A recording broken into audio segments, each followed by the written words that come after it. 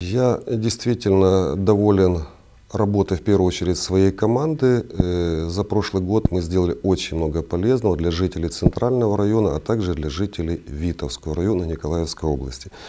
В этом году у нас есть куча наработок, есть куча, очень большое количество обращений граждан, потому что то состояние сегодня внутридворовых проездов э, и домов и всего прочего, это то, что волнует в первую очередь наших горожан. Поэтому в этом году, безусловно, мы продолжим нашу работу. У нас есть определенный план. Это и дальнейшее остекленение подъездов, и дальнейшее благоустройство внутридворовых проездов, детские площадки и так далее.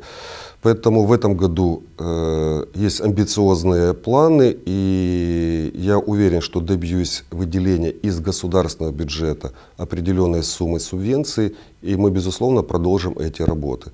Также встречался с исполняющей обязанности мэра это Казаковой э, Татьяной, и мы с ней будем также обсуждать совместные проекты.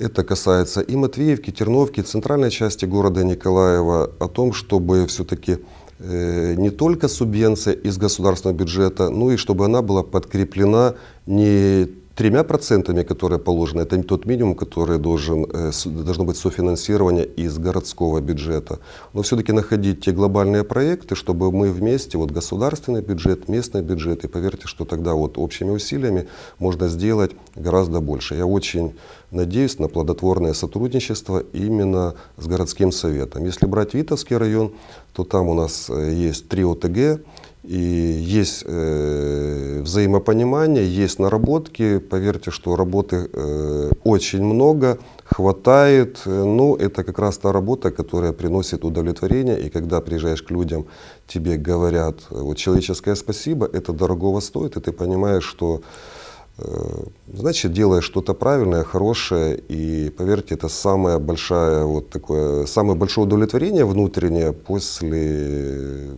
после своей работы и после работы своей команды.